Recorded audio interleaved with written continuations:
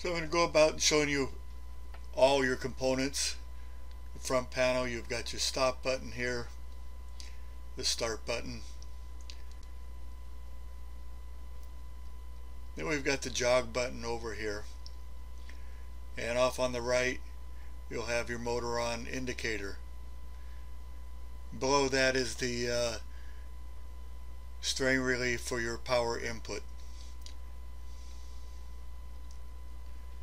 Here's a review of the backside, circuit breaker 1 and 2. Again, from the backside, your stop button, your start button, and your jog button over, over there.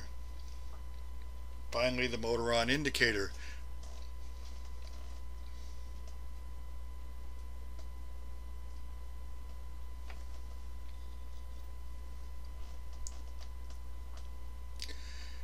Here's a view of the top down with all the components installed.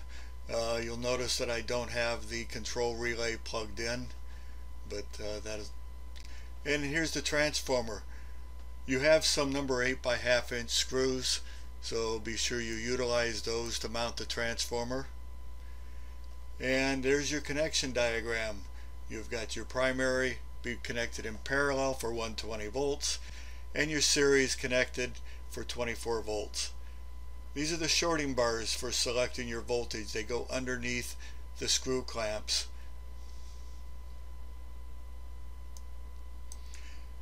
And you can see how they're mounted here on the primary side. Here's the H1 and the H3 connection and the H2 and H4 connection. Those shorting bars are underneath the clamps.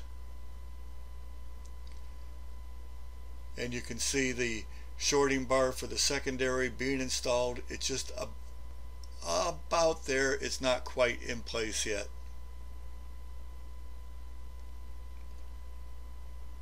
And here it is installed and you can look really close and you can see the outline of it there underneath the clamp and ready to go.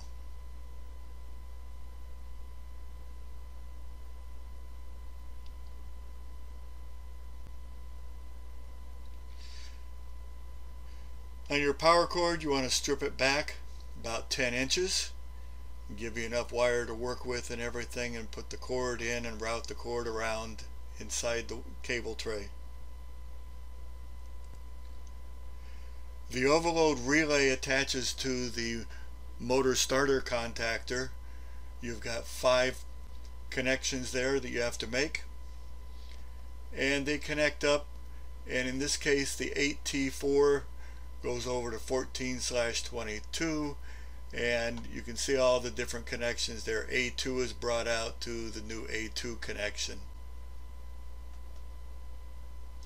And here's the whole thing all put together. The red button is you can push that and trip the overload. Here's a quick view of the wiring without the covers. There's the 120 volt AC neutral and then the 24 volt both neutral and hot.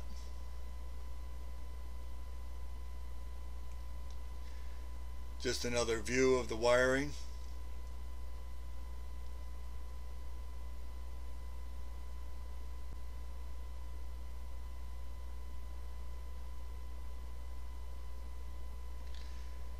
And a view of the back of the front panel with the wiring.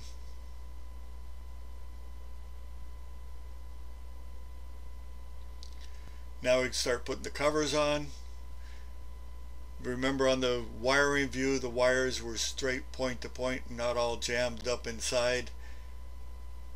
And there's the top down view with all the covers on.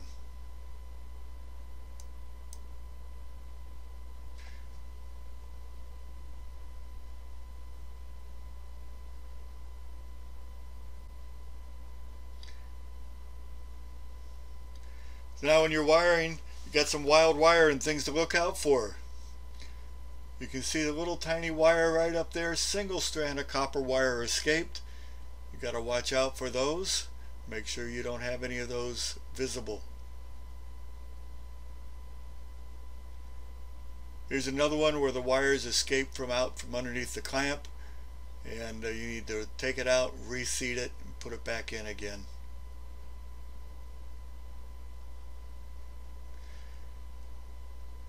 And finally another out from underneath the clamp. And that's pretty much it. So get going get wiring. We'll uh, get this all done